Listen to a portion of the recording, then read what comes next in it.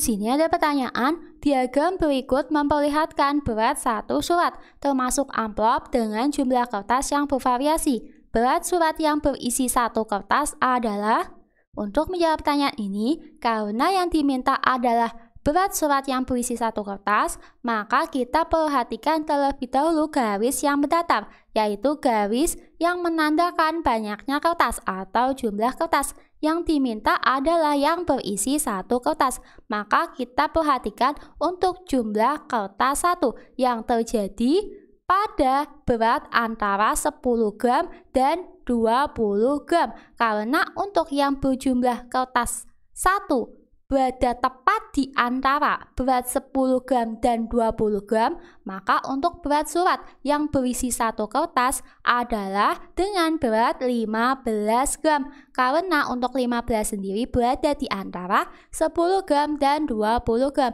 Jadi jawaban yang tepat adalah pada opsi C, yaitu 15 gram. Demikian, sampai jumpa di pembahasan soal selanjutnya.